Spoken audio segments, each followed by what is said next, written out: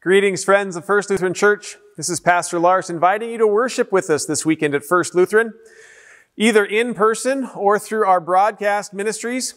Reminding you also that at the 11 o'clock service on Sunday, we will be at McKennan Park, followed by our annual church picnic. So please come, bring a chair and join us out there if we have nice weather. This weekend, we are going to be preaching again at the end of Ephesians. As we've been going through this summer, we're now completing two things. The book of Ephesians as well as John chapter 6, where Jesus has been t- talking about him being the bread of life.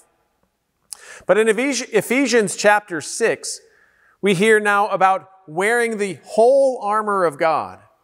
And I think about sometimes when I've gotten into fights and we get very defensive and we are worried that somebody's going to come and just crush us with a blow. And we get into a defensive posture like wearing armor, hiding behind a shell. But what Ephesians tells us is that the fight isn't ours. The fight has been won for us in Jesus Christ. And putting on Christ in baptism, we now wear Him. He is our protection against the spiritual forces of doubts and uh, lies.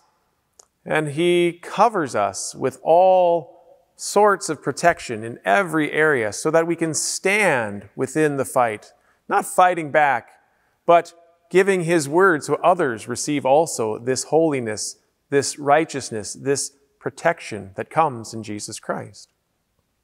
So, the last part of uh, the armor that we put on is shoes that aren't just for protection, but they're anything that gives us the ability to go and give the gospel to others.